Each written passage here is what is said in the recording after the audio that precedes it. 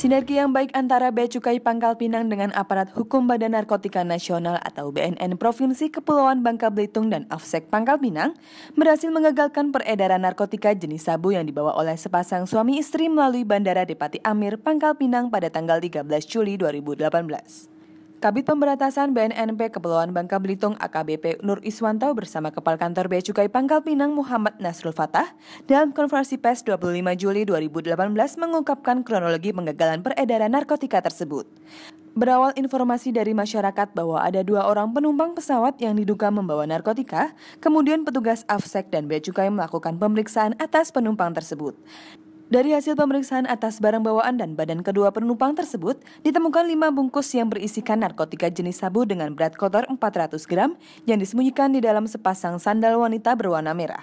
Selanjutnya kedua tersangka dan barang bukti diserahkan ke BNNP Provinsi Kepulauan Bangka Belitung. Diharapkan kepada seluruh masyarakat untuk tetap mendukung aksi pemberantasan narkotika dengan menyampaikan informasi sekecil apa pun kepada pihak terkait. Dari Bangka Belitung, Kanal BCTV mengabarkan.